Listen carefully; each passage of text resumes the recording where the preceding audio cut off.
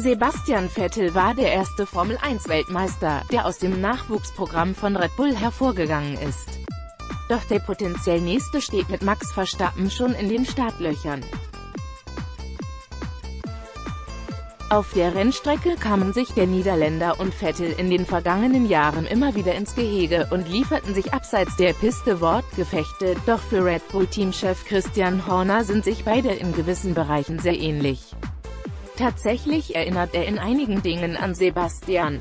Selbst die Art, wie er ins Auto steigt, erinnert mich an ihn, sagt Horner im Gespräch mit Autobild Motorsport über Verstappen.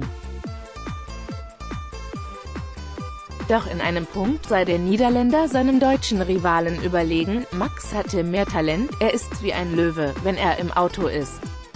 Er geht wie auf nie. Er hat einen irren Kampfgeist, sagte Horner.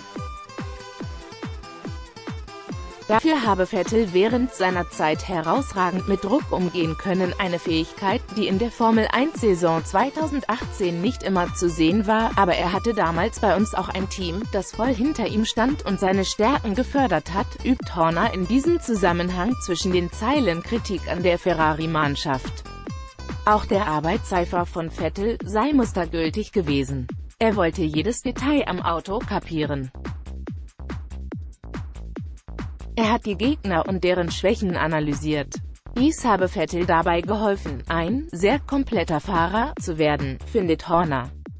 Nun schickt sich Verstappen an, in die Fußstapfen eines seiner Vorgänger bei Red Bull zu treten. Er hat all die Fähigkeiten, die du brauchst, um ein mehrfacher Champion zu werden, sagte Horner über Verstappen. Die nächste Generation mit Fahrern wie Leclerc und Max wird uns viel Freude bereiten.